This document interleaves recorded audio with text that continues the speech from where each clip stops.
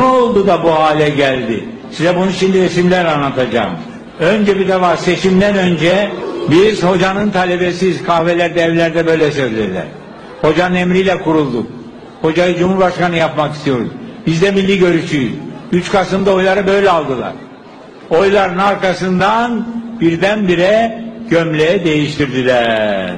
Nasıl oldu da gömlek değişti? Dikkat edin. Bu konferansın en can alıcı noktası anlatıyorum.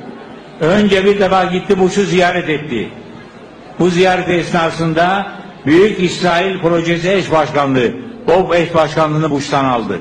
Görev aldı. Bush'a muavin oldu. Ondan sonra gitti HSBC merkezinde Amerika'da Yahudi lobisinden cesaret madalyası aldı. Bak orada görüyorsun madalyayı. Ne büyük şeref, ne büyük şeref. Duruşun manasını seziyor musunuz? Nasıl duruyor? Sonra ne yaptı? Aynı gün gitti John Üniversitesi'ne kendisine Paris doktorluk ünvanı verdiler. Ve bu ünvan esnasında kendisine yeni gömleğini giydirdiler. Bu gömleğin adı ne biliyor musun? Tayyo 2. Bu gömleği giydi, Tayyo 2 gömleğini giydi, milli görüş gömleğinin yerine. Bak orada dikkat edin, göğsünde bir takım işaretler var.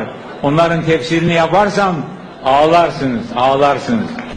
Eğer benim emir komuta merkezim bana papaz elbisesi giyeceksin diyorsa papaz elbisesini giyer bu şekilde gider görevimi yapar.